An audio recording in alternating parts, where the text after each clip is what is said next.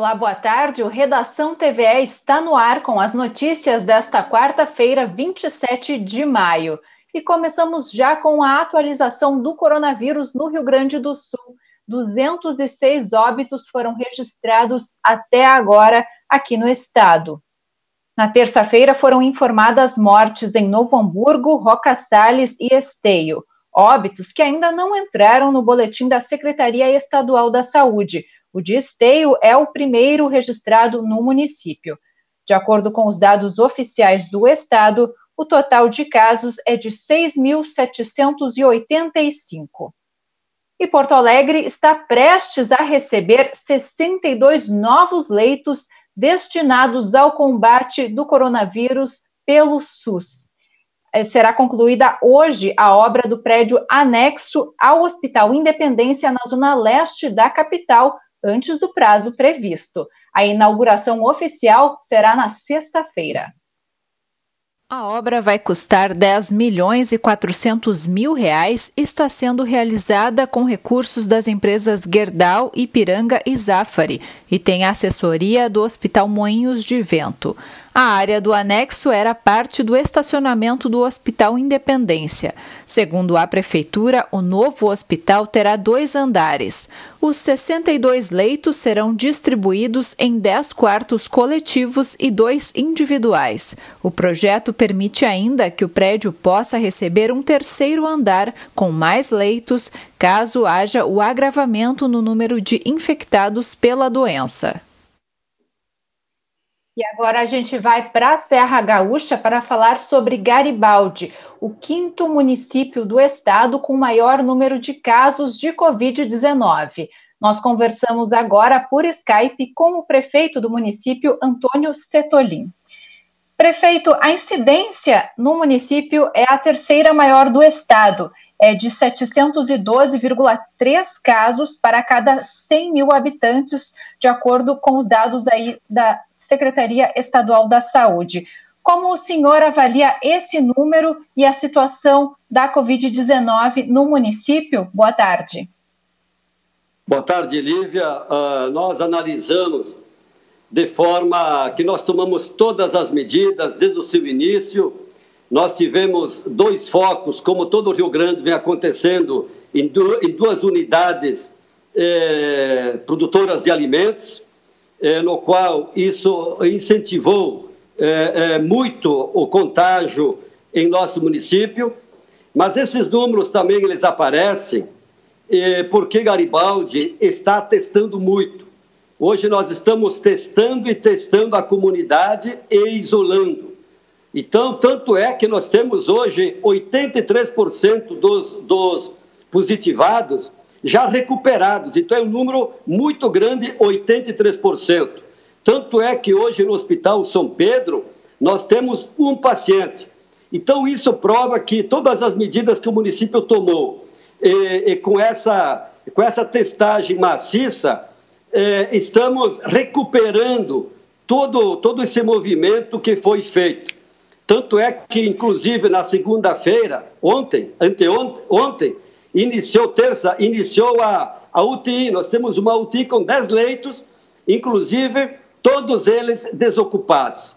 Então, nós estamos também aprendendo com essa situação dramática, buscando de todas as formas medidas para o município. O município foi muito forte quanto às, aos nossos decretos, e hoje nós podemos dizer que temos uma situação estável e a curva está descendo muito acentuada. Como o senhor mesmo falou, houve dois surtos em frigoríficos aí em Garibaldi. Como está a situação nesses locais e também a situação dos funcionários? Não, hoje, hoje está praticamente normal, porque todos os funcionários que estão trabalhando foram testados. É, enfim, há um controle muito rígido de todas as ações nos frigoríficos, então praticamente está voltando à normalidade. E os frigoríficos é uma situação muito, muito, muito, muito particular, porque há muita gente de toda a região, por exemplo, a regi região metropolitana de Porto Alegre, São Leopoldo, uh, Charlau, São Sebastião do Caí, muita gente daquela região trabalham aqui em Garibaldi. E tem muito deslocamento dessas pessoas através de ônibus. E isso tem provocado aglomerações, tem provocado muita gente nesse deslocamento e hoje também há o controle nessas condições. Tanto é que o município tomou medidas desde o início, usando máscaras, tendo os cuidados com álcool gel, toda uma situação dentro do frigorífico, o controle ele é muito forte. Só que quando as pessoas vão para casa, aí não há mais controle, porque cada um tem seus lares. Então, de fato, foi isso que aconteceu. Bom, o senhor já falou um pouquinho dos leitos na cidade, não é? Como está a capacidade de atendimento hoje em Garibaldi? Olha, nós temos uma, uma, um paciente que está no hospital, apenas um, e está tranquilo, está bem. E a UTI, que nós entrou em funcionamento ontem, é, 10 leitos, todos eles desocupados.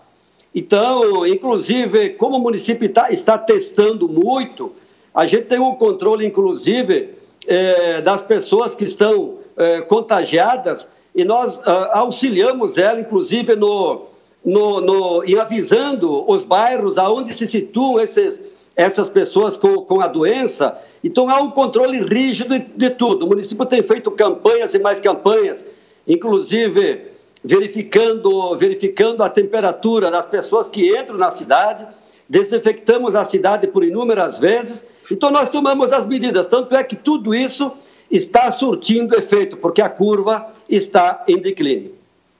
Ok. Prefeito de Garibaldi, Antônio Setolin, muito obrigada por nos atender. Uma boa tarde. Boa tarde.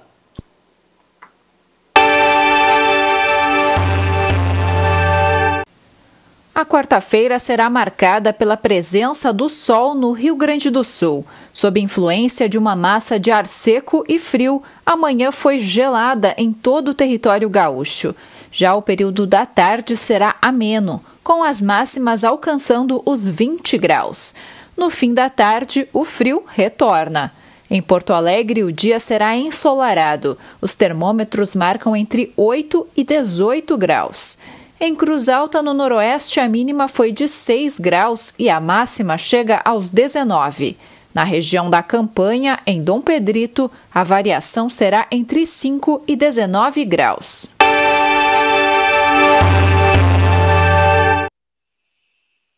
No nosso giro de depoimentos, nós vamos até Belém do Pará, que saiu recentemente de uma quarentena total. É, de lá, nós recebemos o relato de um sociólogo que perdeu o sogro para o coronavírus. Este é o Ângelo. Há um mês, a história dele foi impactada pelo coronavírus. O sogro, Ivens Rodrigues, teve sintomas da doença, buscou atendimento, mas acabou falecendo em casa. Com o sistema de saúde de Belém em colapso, a família esperou 12 horas até a remoção do corpo. Ângelo é sociólogo e mantém uma rádio comunitária para onde levou a família após perder o sogro. Pouco tempo após a mudança, ele começou a ter sintomas da doença, mas testou negativo. Já sua esposa testou positivo. De lá para cá, nossa vida mudou consideravelmente. Nós tivemos que abandonar a nossa residência na periferia de Belém e viemos nos abrigar aqui no centro histórico, na sede do Instituto Idade Mídia Comunicação para a Cidadania. Aqui permanecemos por mais de 14 dias em quarentena e em isolamento, para poder perceber os sintomas tanto em mim quanto em meus familiares. A cidade de Belém do Pará, nesse momento, ela vive sob o protocolo de lockdown, com o fechamento de toda atividade não essencial. No entanto, parece que essa política não tem gerado tanto resultado assim, porque não alcançamos ainda nem 60% do total estimado. Muito pelo contrário, acreditamos que também devam existir políticas públicas associadas para que a população possa manter-se em suas residências. A gente espera que tudo isso passe o mais breve possível, para que a gente possa retomar as nossas atividades, para que a gente possa voltar a cuidar da nossa vida, do nosso trabalho, como era antes de tudo isso acontecer. A gente sabe que o isolamento é muito importante para que isso aconteça logo. Por isso a gente pede: fique em casa. Todos os anos, na última quarta-feira do mês de maio, acontece uma mobilização mundial pela prática da atividade física. É o Dia do Desafio que esse ano vai ser um pouco diferente, não é? Devido ao isolamento social. Hoje é aquele dia para lembrar o que devemos fazer sempre, seja dançar, praticar exercício, organizar circuitos, enfim, não importa a modalidade. Atividade física é fundamental todos os dias. Mas para dar aquele empurrãozinho, hoje o SESC tem programação até a noite online. E se você não conhece, o Dia Desafio propõe que a gente faça pelo menos 15 minutos de atividade física, estando bem de corpo e de mente. É isso que a gente quer, principalmente nesse momento de pandemia. Não podemos deixar de fazer atividade física. Às 18 horas nós teremos um baile virtual que você pode arrastar a cadeira em casa e dançar, junto da banda Samba Rock e Companhia, e também às 19h30 uma corrida virtual, que vai estar acontecendo num lugar muito especial lá na cidade de Montenegro. Então convide os amigos e participe conosco. As atividades podem ser acompanhadas pelo Facebook e Instagram de cada unidade e do SESC RS. E além de estimular a atividade física, também é dia de praticar a empatia. Esta é a proposta da Live Grenal Desafio da Solidariedade, que vai acontecer na Arena do Grêmio. E aí a gente poder ajudar o próximo com doação de alimentos e fazer com que esse momento delicado na vida das pessoas possa ser mais ameno. E através disso, né, nós vamos ter é, pelo Internacional o Rafa Malianotti, e pelo Grêmio, o Rafa Machado, né, vai ser o show de altíssimo nível, pocket show, mas tu pode ajudar e vai ajudar muitas pessoas se puder contribuir. A live será transmitida pelo Facebook da Secretaria de Esporte e Lazer e também pela nossa TVE, das 4 às 6 da tarde. Quer saber como contribuir? Anota aí. Até 29 de maio, alimentos não perecíveis podem ser entregues no SET, que fica no bairro Menino Deus, na Central de Doações da Defesa Civil e também na rede Assum de supermercados. Então, te programa aí, porque tem live Grenal aqui na TVE a partir das quatro da tarde e, se puder, claro, contribua. E a gente encerra falando de blues. Foi lançado há pouco o clipe de Better Day da galera do Blues, um coletivo de músicos. Ela é uma versão da música composta por dois bluesmen nos anos dos anos 30, Brownie McGee e Sonny Terry. E tem aí a participação de artistas do quilate de Solon Fishbone, Fernando Noronha, Luciano Leães e outros. Para assistir, é só acessar o canal do Estúdio do Arco no YouTube. E a gente encerra, então, com imagens desse clipe. Outras informações você acompanha no Redação TV às seis e meia da tarde. Uma boa tarde para você e, se puder, fique em casa.